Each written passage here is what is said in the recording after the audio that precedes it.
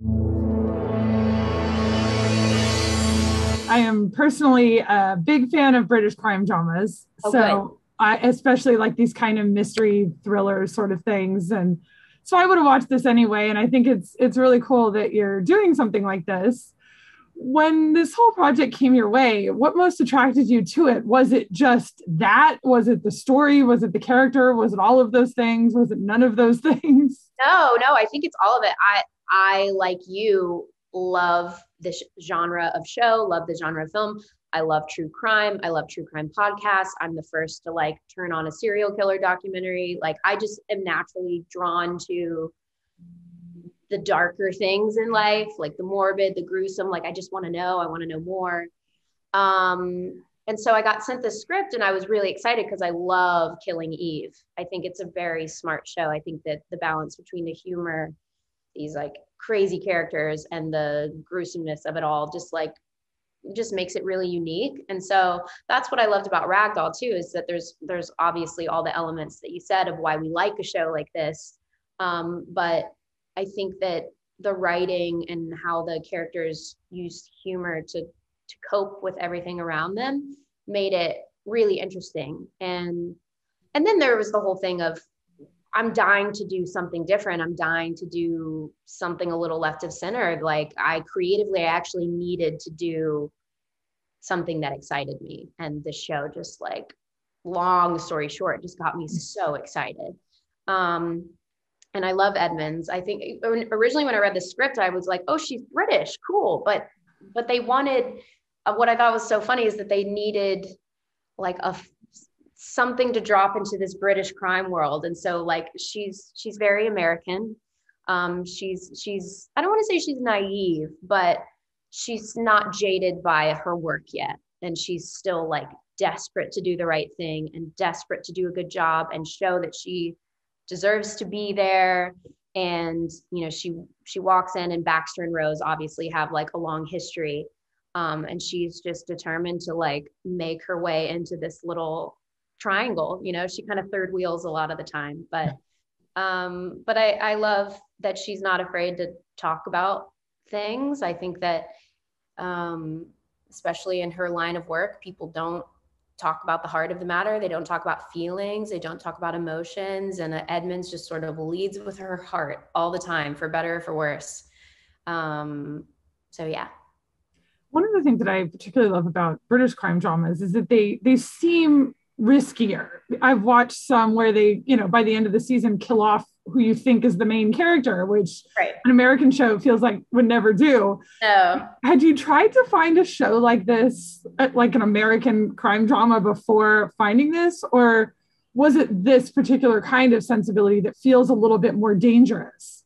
Yeah. I mean, I, I hadn't really, I had auditioned for like a couple of other American similar type shows. And you're you're absolutely right. There does feel like there's that added layer of danger because, like you said, they might just kill off their main characters. Um, but this show, I think, yeah, definitely teeters on the edge. Like, so what I loved about it is a from a writing standpoint and directing and cinematography standpoint, they were really inspired by Korean cinema. And you really see that because it feels like a lot of the moments are very theatrical and and crazy. You're like, there's I if you've only seen the first two episodes, there's a couple of moments later in the season where you're like, they did that. They really just went for that.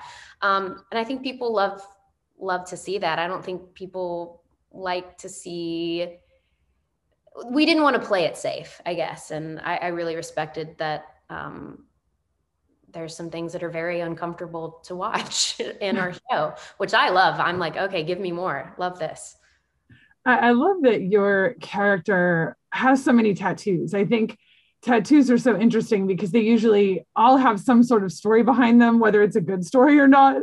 Yeah. What was it like to have all of the tattoos? Did you come up with reasons for each one? What do you think they mean to her and, and what do you think they say about her? Yeah. So I I actually have a lot of tattoos myself. So like some of them were mine. I have they're kind of they're all small, but they're scattered. So mm-hmm. I I get it. Like you're either a tattoo person or you're not. Like I love them.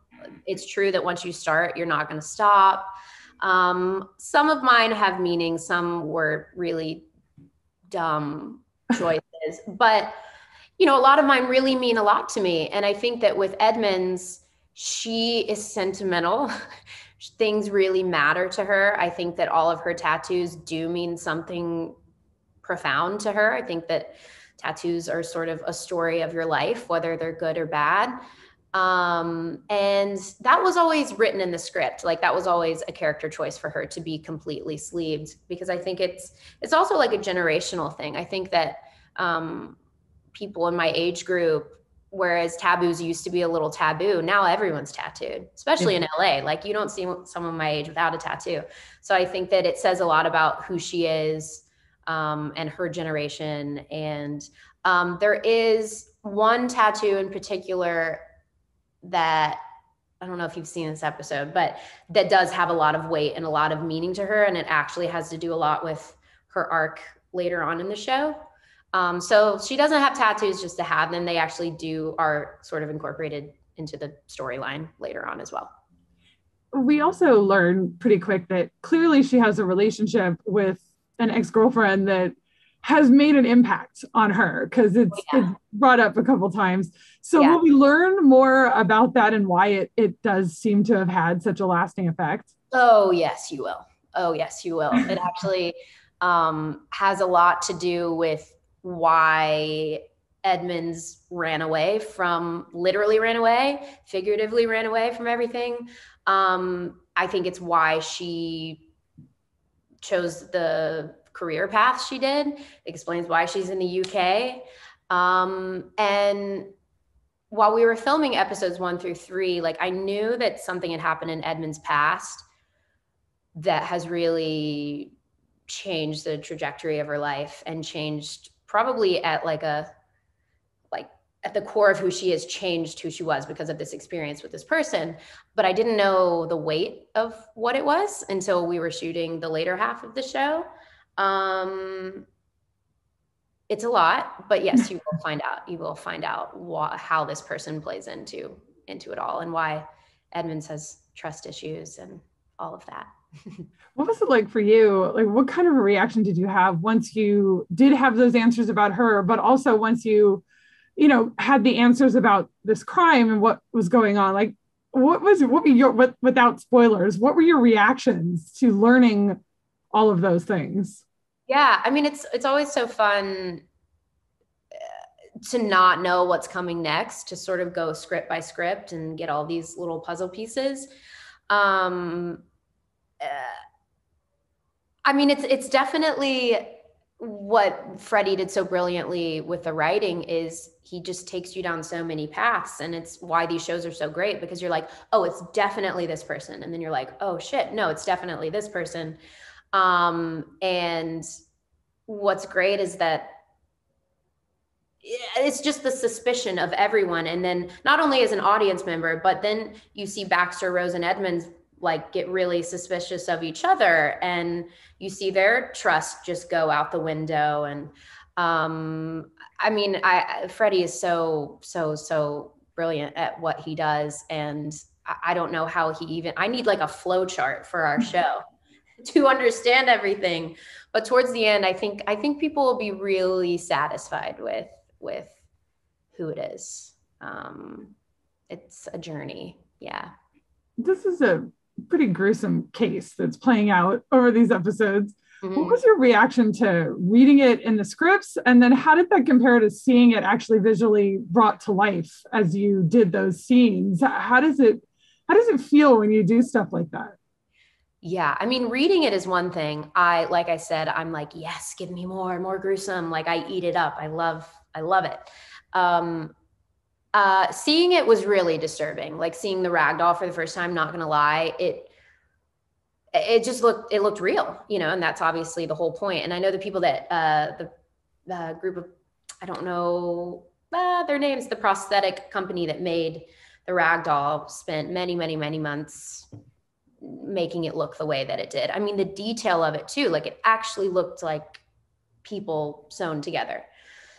So obviously, we're filming a show, and I know this isn't real, but there is an element of like everything we're doing, like, has there is a, a little bit of reality to it. Like there have been some dark people in the world who have done similar things to people like this before. And um, yeah, it was it was a pretty memorable memorable day of filming when we when we actually saw the rag doll Like like we had physical reactions to it. Like we were like it was it was intense. But um, I think that's the whole the whole point though. So that's good.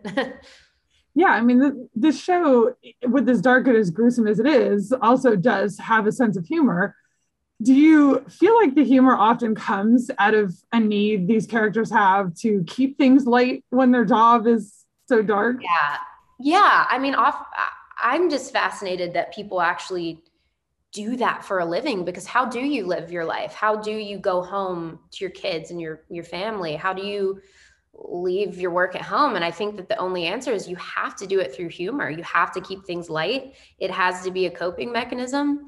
Um, at least for the characters in the show i think that that's just how they deal with this day-to-day case that they're dealing with all the cases that they deal with.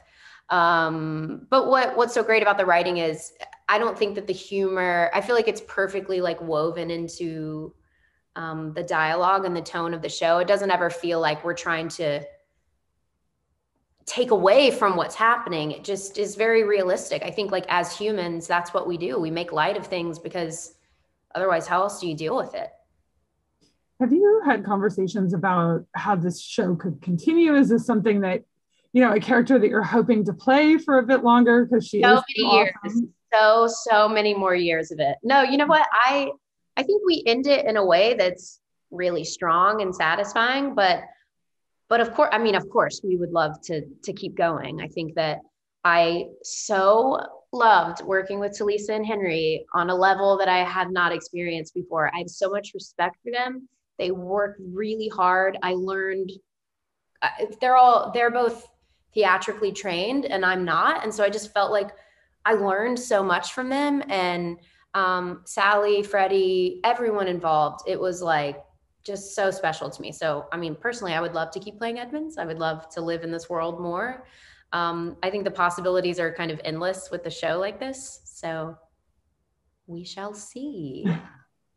I, I think it's so interesting the the parallel between something like this and doing something like Pretty Little Liars, where you also did dark material. You did this, you know, season these seasons long mysteries and did you ever think about that and think about any connections to how different you are now than you were when you did that and, and how there is like a similar sort of feeling yeah. to the content yeah there there is um there definitely are some similarities i mean i think the girls in pretty little liars they kind of took pride in being the town detectives like the un the unofficial detectives because the police force in that town was crap. They didn't do anything. Um, so, I mean, obviously, PLL skews a lot younger, yeah. a lot less realistic. Um, but but both of the shows live in like a heightened reality. Um, but but Ragdoll feels. Um, I'm obviously way older than when I was when I did PLL, but Ragdoll feels like a new chapter in my life, just as far as where I'm at personally, where I'm at in my career. Um, but but yeah, there are like certain strings that sort of make them very similar. I think that the people who watch PLL who have grown up with me are old enough to appreciate a show like Ragdoll. So hopefully they'll be into it. yeah. How different do you feel as, as an actor? I mean, do you feel like you've just learned so much more since your time doing that show to where you are now? I, I mean, I do. I think that being on a show that went as long I mean, we went for almost eight years, 100 and a lot of episodes, 160 episodes. I mean, that was a time in my life where I really honed my craft and knew, like, oh, I actually love what I do. This is great. And I learned all the technical aspects of, of like how to hit a mark, how to find your light, like all of those things. Um, and towards the end of that show, obviously, I think we were all ready to like move on and try different things.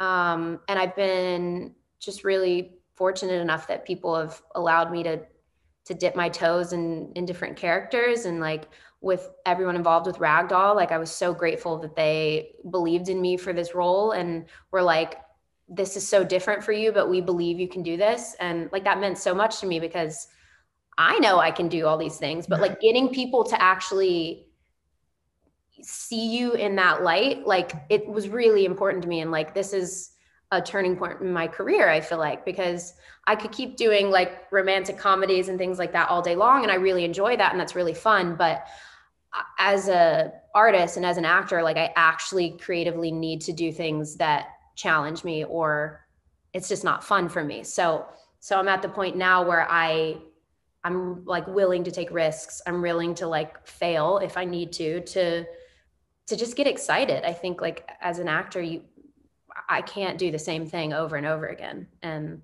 um and so yes, to answer your question, I do feel like a different a different actor now because I I I've learned and I've grown and I'll continue to do that with experiences like this. So lots of gratitude over here for sure. Well, thank you for talking to me about the show, the character. She's awesome. I'm I'm definitely excited to take the rest of her journey this season. Great. Thank you so much. Really good to see you.